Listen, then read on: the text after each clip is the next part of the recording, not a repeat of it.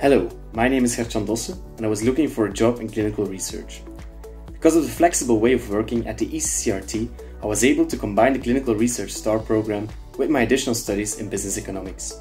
In this way, a customized program was outlined in which the combination of studying and gaining experience in the field became perfectly possible. I would therefore recommend the STAR program to anyone who wishes to develop themselves both professionally and personally in the vast and interesting world of clinical research.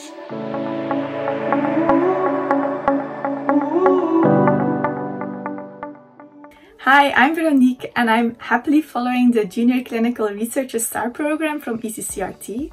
After graduating in pharmaceutical sciences, drug development at the University of Ghent, I really knew I wanted to uh, pursue a career in clinical research.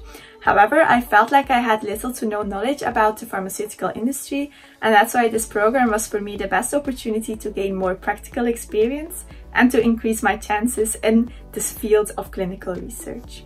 Following a traineeship and three different organizations really gave me a better view of the different job positions and functions, and the trainer really found the best possible internships according to my profile.